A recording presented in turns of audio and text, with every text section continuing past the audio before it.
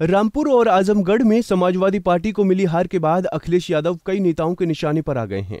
ओम प्रकाश राजभर से लेकर मुलायम सिंह यादव के समधि तक अखिलेश पर निशाना साध रहे हैं।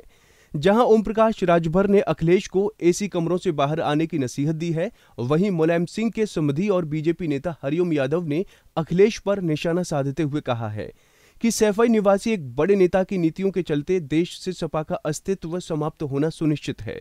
हरिओम ने कहा कि इस शकुनी के कारण सिर्फ़ पार्टी की बर्बादी नहीं हुई, बल्कि पारिवारिक लड़ाई में भी इसकी अहम भूमिका है। आजमगढ़ लोकसभा चुनाव में सपा की हार पर प्रतिक्रिया देते हुए कहा कि समाजवादी पार्टी समाप्त हो जाएगी। उन्होंने यहाँ तक बोल दिया कि 2024 लोकसभा चुनाव में एक भी प्रत्याशी जीतकर सदन में नहीं पहुंचेगा।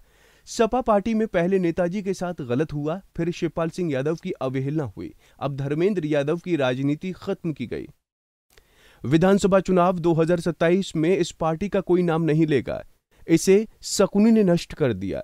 अखिलेश यादव ने शकुनी की शह पर परिवार खत्म कर दिया।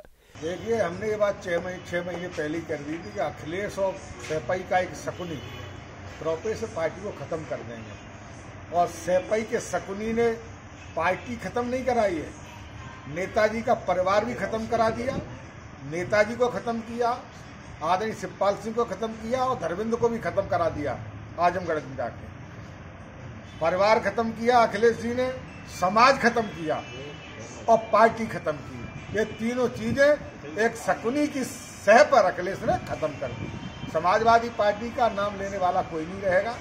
24 में एक सिंगल सीट समाजवादी पार्टी इस प्रदेश में नहीं जीतेगी और इस देश में मोदी जी का प्रदेश में योगी जी का झंडा फिर लहराएगा चौबीस में। अब आगे क्या स्थिति रहेगी वैसे?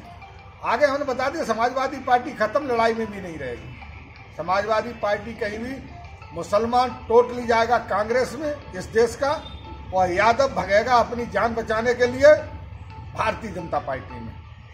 इसलिए अखिलेश जी, ये भूल जाए, शकुनी के अगर कहे पर रहेंगे तो एक आध दो सीट आ जाएगी, सत्ताईस में विधानसभा की, वो भी बिल्कुल चली जाएगी। समाजवादी पार्टी हमेशा के लिए खत्म होने जा रही है। हरिओम यादव सपा के स्थापना काल से जुड़े नेता हैं। पहली बार साल 2022 में वो शिकोहाबाद विधानसभा सीट से चुनाव जीते थे। इसके बाद 2012 और 2017 में सिरसागंज विधानसभा सीट पर सपा का परचम फहराया। इसी दौरान अखिलेश यादव के चाचा और पार्टी महासचिव रामगोपाल यादव से तनातनी के चलते उन्होंने बीजेपी का दामन थामते हुए चुनावी समर में कूदे इस विद्रोह को कुचलने के लिए सैफई परिवार ने पूरी ताकत लगाकर हरिओम यादव को पराजय दिलाई। बता दें कि हरिओम यादव, मुलायम सिंह यादव के समधी हैं। सपा संरक्षक के भतीजे स्वर्गीय रणवीर सिंह की शादी हरिओम यादव की भतीजी मृदुला यादव के साथ हुई थी। मृदुला के बेटे तेज प्रताप की शादी बिहार के पूर्व मुख्यमंत्री लालू यादव की बेटी से हुई है। चलिए, ये तो रही खानदानी बातचीत। लेकिन इस वक्त अखिलेश की राहें धीरे धीरे मुश्किल भरी हो रही हैं, क्योंकि अखिलेश इन दिनों अपनों से लेकर पराये तक के निशाने में आ गए हैं।